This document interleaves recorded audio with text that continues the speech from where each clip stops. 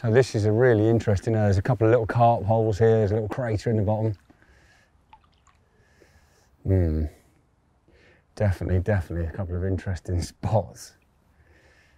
I'm just pulling a little bit of this crap off the bottom here, up against this uh, weed bed. This feels like a nice little patch. A bit of flicker rig on this tomorrow.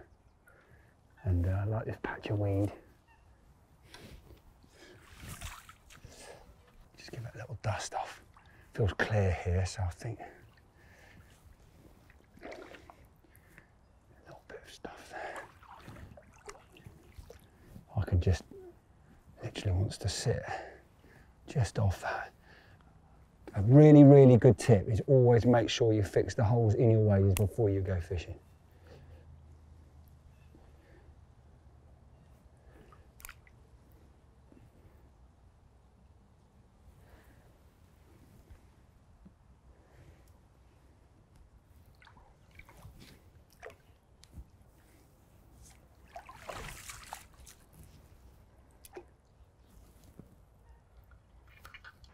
Okay, well I'm building a bit of a plan now. So I've just had a little rake in the, the middle swim, which is the swim that I fished earlier on with the bread, uh, where there were definitely carp there.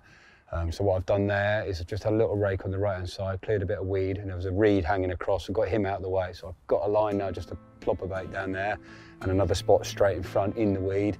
And I've just dropped into this little poke hole. It's one of the swims, but it doesn't look like it gets fished a lot and there are some lovely holes just out in front. Didn't need to do any raking. I could feel with my feet that the bottom was well worked. They like it here. This is just all rock hard and gravelly. So what I'm going to do is put a bit of bait in here, put a bit of bait in next door and then fish the third one right up the other end.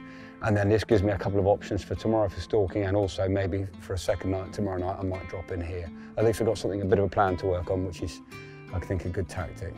Anyway, time to get back to swim and get some rods in the water.